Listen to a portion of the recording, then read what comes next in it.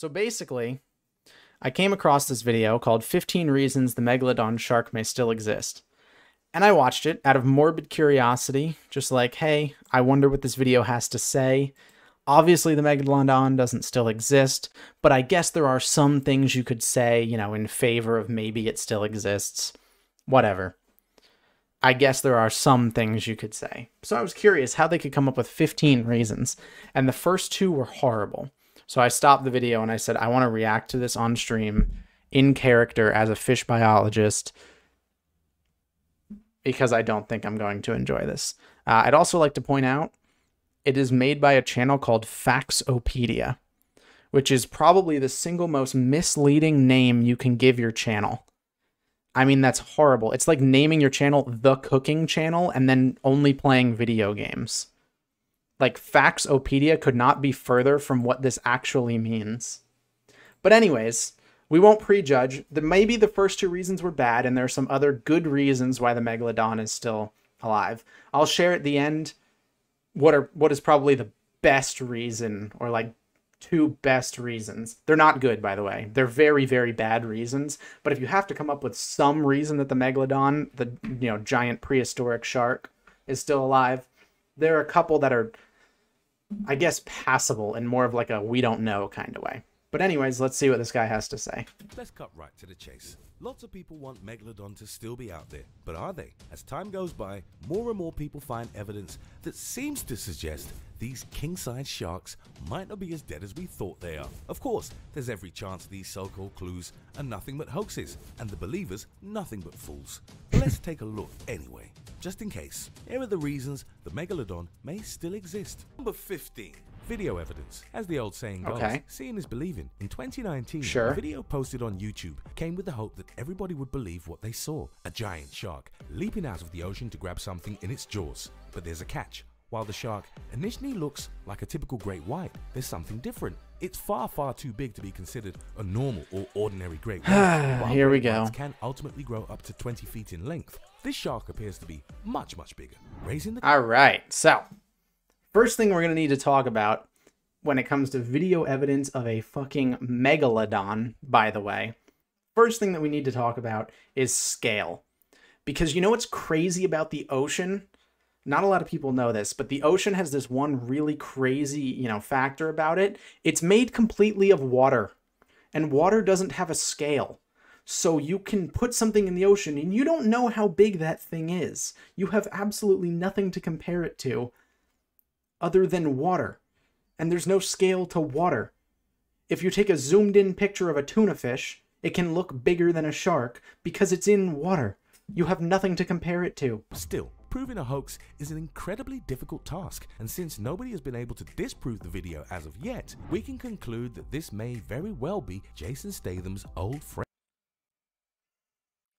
because nobody has been able to definitively disprove that the fisheye lensed video is a megalodon, It may very well be a megalodon. And now it's time for the odd topic.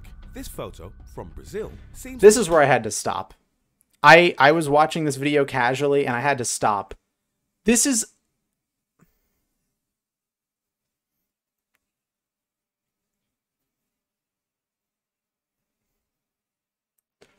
And you know what's crazy? You know what's crazy about this too?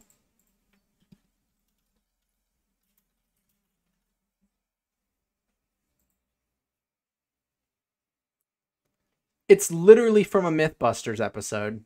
Yeah. It's literally from a Mythbusters episode. It is an episode of Mythbusters where they test how strong the jaw of a megalodon would be. This guy used this as his number two evidence in why the megalodon still exists. It is literally in an episode of Mythbusters. show the surface corpse of a dead shark. That much is clear. But what's How is that much clear? You can see wrinkles. You can literally see this glaze of the sh- the sun on the fucking plastic baffling balloon the animal. size of the thing. The shark's body is said to have been found by a marine biologist who was exploring nearby when he saw it floating in the far. Where did you get this story? It's literally from a myth. He's just making things up. He's saying a marine biologist found it. It literally is from a. You can watch the episode of Mythbusters and watch them build this. distance. Quickly as he could, he assembled a team and had the body dragged to the beach. Given the size of it, He's just making a things up. right? What do you think? Number 14. The coelacanth. It may sound like something from a science fiction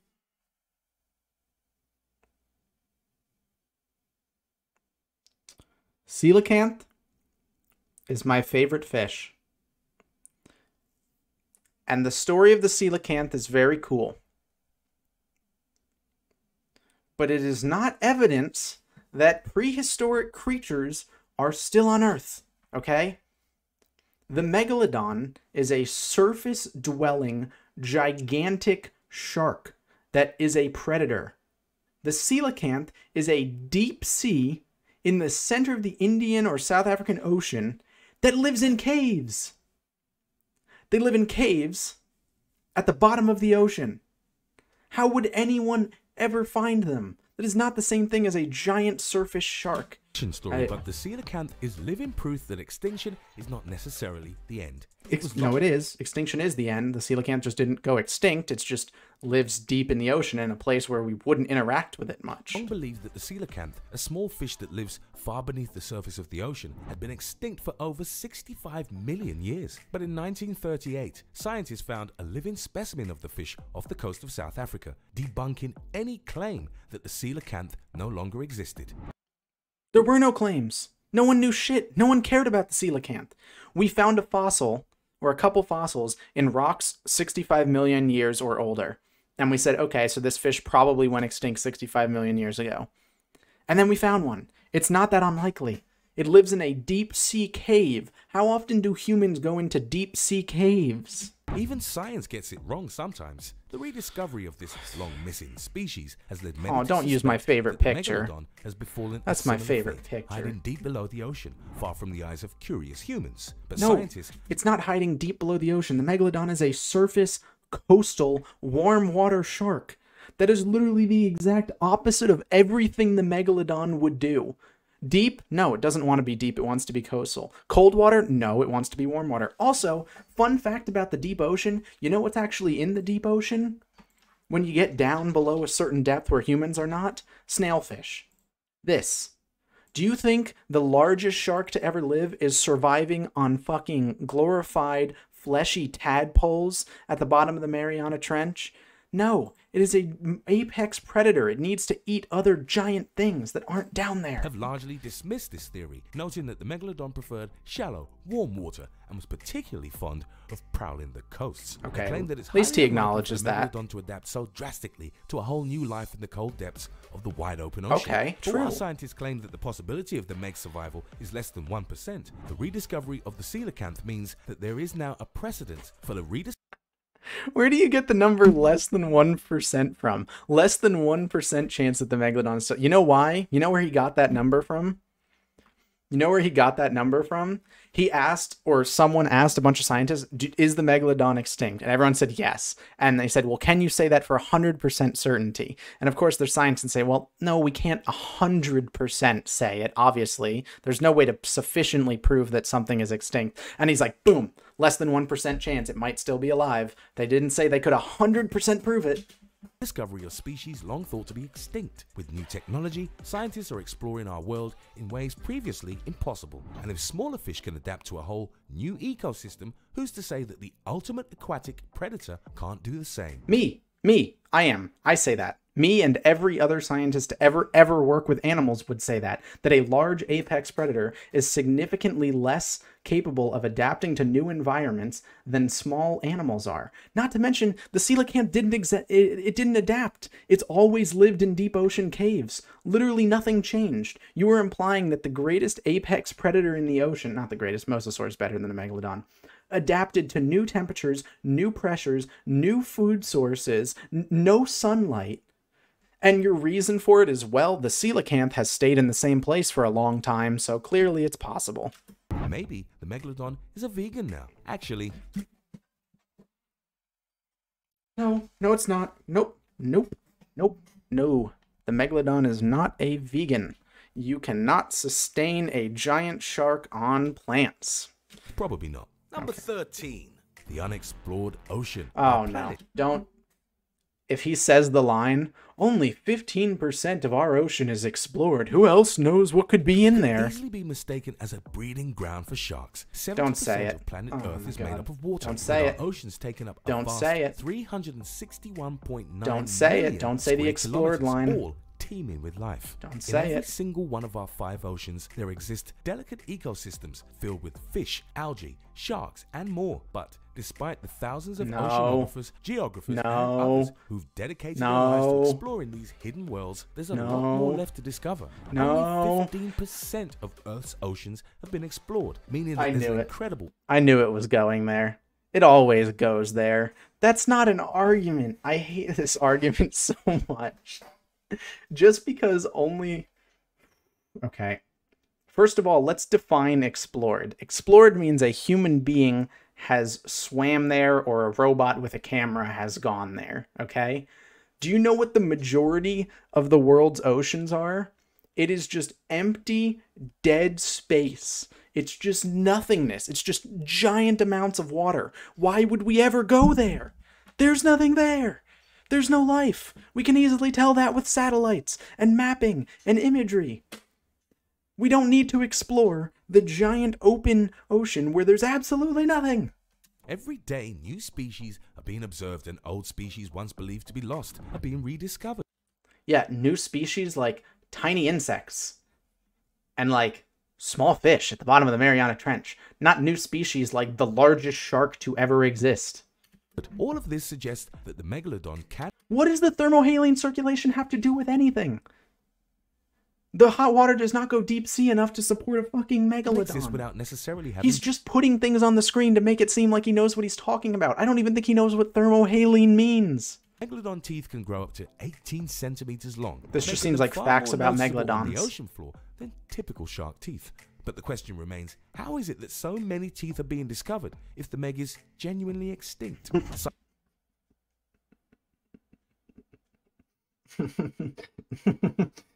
yeah, yeah, yeah, yeah, yeah. No, no, no. I'm following. No, you know what? I'm with him on this one. I'm with him on this one. Hundreds of millions of years, there was a very large shark with shitloads of teeth prowling the ocean, and it lost entire sets of them on a near weekly basis. How could there be so many? He's right. It's crazy how many megalodon. You know what? I have a megalodon tooth in my room. How how is it possible?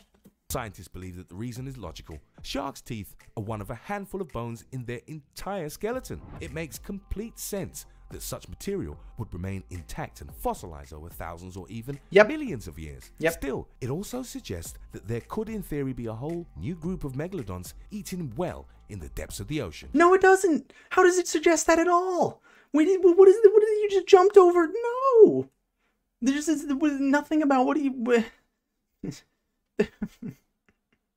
There's lots of teeth. Therefore, there's a surviving modern day megalodon species living in the deep ocean. If a shark loses its teeth every two weeks, then it must be possible for these teeth to be brand new. There could be a very Nope, it's not possible. Accident, actually, because there's this amazing, amazing thing that fossils do when they go underground. I don't remember if it's oxidization or some some other chemical, and they change color. Bones and fossils, they're not white. Megalodon teeth that you find are not white because they've like calcified or oxidized or whatever the word for it is. Uh, so you would know if they were new. You would know, and uh, they're not. Such a huge bite could only be the work of a megalodon or a very, very hungry large fish, but probably the meg. For the more No, not probably the Meg. He slips that in at the end of every one. He gives like barely the tiniest, like the tiniest, dumb, not even real evidence, and at the end he's like, "Well, it's probably the Megalodon." I mean, it could be something, but it's pro- it's probably the Megalodon. skeptical among us, it's worth noting that megalodons were well known carnivores who regularly feasted on dolphins, whales, and even other sharks. Couple that with our So does literally everything. Whales are floating buffets. the Cape Town sighting. Despite Ooh, the world sighting. being slightly preoccupied, it seems that even wars can't stop a visit from the Meg. On the 18th of December 1942, Nazi Is he really about to show me a photo from 1942? German soldiers piloting two U-boats in Cape Town, South Africa, happened to catch a photograph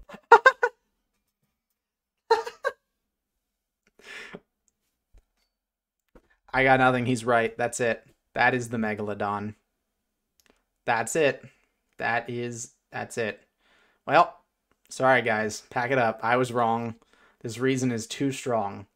It may well be the Meg. Documentaries exploring this sighting have interviewed marine biologists who have confirmed that the creature seen in the photo is likely to be the Big Don himself. No, no, no, no, no, no.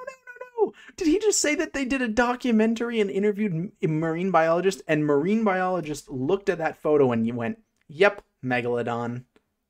Don't claim that marine biologists said that that is likely the megalodon. They definitely did not. I refuse to believe that any self respecting marine biologist looked at a black and white photo from the 1940s with absolutely no scale and went, yep, megalodon. Biologists who have confirmed that the creature seen in the photo is likely to be the Big Don himself. But it's also worth noting that these biologists are seemingly untraceable, giving the skeptics some superiority on that one. Did he just. Uh, don't worry, guys. I swear the marine biologist said that it's a megalodon, but uh, I can't. Uh, I don't know their names, and I can't get in contact with them, and we can't trace them. Uh, but they're definitely real, and they definitely are real people with degrees. Don't worry about it. Just take my word for it. Mariana Trench, known as the Ah, I knew it was gonna. I knew it. I knew it. Anytime there's something like aliens, UFOs, hmm, things we don't know about, it's always the Mariana Trench because it's just so deep we don't know. trench in the world. The Mariana Trench is the ultimate hiding place for underwater creatures who don't want to be bothered by the human world. No, it's actually not the ultimate hiding place. It's cold, it's extremely high pressure, and there's nothing to eat. It is actually probably one of the worst hiding places you could you could do. It's like if you played hide and seek with your friends and dug up a grave, crawled into the tombstone, and then covered yourself up and be like, "Yeah, this is this is a great hiding place. I can't breathe." Hidden away in the Pacific Ocean, the farthest known depth in the trench is around 36,000 feet. So deep that Mount Everest could fit completely inside of it without getting close to breaching the surface. Scientists have discovered that there's vibrant life within this depth, as creatures from xenophyophores to tiny microbial life forms thrive in this unexplored ecosystem. Yeah, I'd like everybody to keep in mind right now that his his channel's name is Factsopedia, and he continuously puts on like charts and graphs that he's not even talking about, have no relevance to what he's talking about on the screen to make it seem like he knows what he's talking about. He's also multiple times said marine biologists say, and then immediately after said, well, we don't actually know the name of them and we can't trace the marine biologist who said this. But there is one creature who is, as of yet, unaccounted Hey, guys, did you know that a Harvard scientist of psychology said that I am the smartest person in the world? Don't ask his name. I can't trace him, and I, I can't give you his name, but he said it. He did. for the megalodon. If the Meg really is hiding deep underwater, having adapted to the whole new climate and depth that comes with it, there would be nowhere better to hide than the Mariana Trench. Yes, there would. Literally anywhere else would be better. I actually can't think of a worse place for a large predatory shark to live in a deep ocean, high pressure, cold, foodless environment. It's actually probably the worst place possible, Tucked far which is away. impressive because he was looking for the best place for the shark to hide as a reason and then gave the worst place possible. from human disruption, with much room to live and thrive, the trench is practically a hideaway for celebrity fish. It's the Hamptons or the Beverly Hills of the ocean. Yeah, if the Hamptons or the Beverly Hills were in the middle of a desert, had no access to water or food, and you were constantly under pressure and about to explode. We're gonna have to look into that one. Number four, Google Earth. More than just a blatant invasion of privacy, Google Earth is a conspiracy theorist toolbox. Google Earth has been used to find Atlantis, to try and infiltrate Area 51, and has now even been used to track the Meg, and it may well have worked. Somehow, someone browsing on Google Earth discovered a captured aerial image of a shark off the coast of Iraq, and the discovery isn't entirely out of the realm of possibility. Bearing in mind that the Google Earth cameras Well, show me the fucking high in the image. air, any animals that it captures with such clarity must be huge. How often do you see pugs or poodles or hamsters? Exactly. Well, to show see me a the shark image. with such clarity from such a height means that this creature is likely around 70 feet in length. That is a very, very, You're just very big making up shark. But numbers. You literally already said that the shark can only go to. Didn't you say 60? He said he has not only said 60 feet max, he said 32 feet max at one point. Now all of a sudden it's it 70. lines up And he's still yet to show us the image. With everything we know about the Meg, we know from historical research that Where's the, the loves image? coastal waters, is a surface dweller, and typically grows to around 60 feet on average. Now it's 60 feet on average? He literally, like, within two minutes ago said 60 feet maximum. And now he's saying 60 feet on average. And now he's admitting that they're coastal fish again, when he had an entire section on the fucking Mariana Trench. Average. Well, this image seems to suggest all of those things. If any skeptics are watching, feel free to explain this one in the comments below. Just did. Get fucked. This may be as close as we get to Is this the image? This is the image. This is what you're telling me is a megalodon.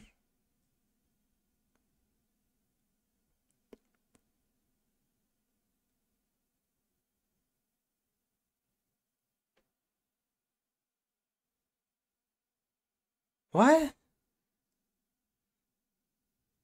This looks like the Hawaiian Islands. Is that not just Hawaii?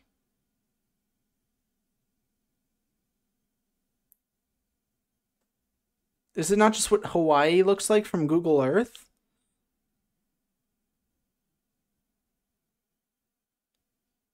I I'm trying to see the fish and I don't even see the fish. definite So- proof, or it could be a big shark. Number three, the HMS Challenger. Sure, the HMS Challenger has been out of service since How the fuck does the eight this that's from the 1800s? Where does this come the late 1800s. But that's also what they say about the Meg. The HMS Challenger was a Royal Navy ship Yeah, and they're right about both. Yeah, the HMS Challenger hasn't hasn't swam since the 1800s, and the Megalodon hasn't been. typically used for marine expeditions back in the 1800s, and that is precisely where the Meg comes in. In 1875, the HMS Challenger discovered a pair of megalodon teeth while dredging the Tahiti seabed as part of an expedition. Sure. These teeth have been the subject of intense debate, with experts dating them anywhere between 10,000 and 25,000 years old. That, of course, is a very long time, but it doesn't line up with the generally agreed extinction date of the Meg. According to scientists, the megalodon went extinct around one and a half million years ago. So if the Meg, which may I remind you loses teeth every two weeks, is extinct, how exactly did it leave behind a tooth several hundred thousand years after the date it disappeared? I've got a crazy theory. It was the 1800s, and they still were healing people. If you went to the doctor with a cold, they prescribed you cocaine. Okay? So maybe, just maybe, the scientists didn't really know what they were talking about, you know? Maybe. Just a thought. That's what happened to a group of Australian cage divers who witnessed what may just be one of the first undeniable sightings of Megalodon in our modern age. While it has the appearance and the body structure associated with a typical great white, the sheer Stop there. Stop there. There's an image of a fish in the ocean. It has the typical body appearance and look of a great white. That's where you stop. That's just. Hey, see this ladybug? It looks like a ladybug. It acts like a ladybug. It has the pattern of a ladybug. It's a megalodon. The size of the animal has led many to suggest that this creature may just have something special about it. Of course, marine biologists and scientists have, as expected, dismissed the footage as merely As proof expected. great whites exist in the ocean, something everybody knows. But that explanation is pretty weak considering the size of the beast, which is clearly something much larger than a great white. If this No, it's not. This isn't the Meg, it That's not clearly larger than a great white. There's just a normal fish swimming alongside of it. It- I mean, the scale makes sense for a great white. Again, what are you comparing it to? Like this is this is the very first point I made when we started watching this video is you can't come up with size measurements in the open ocean. It's just always arbitrary.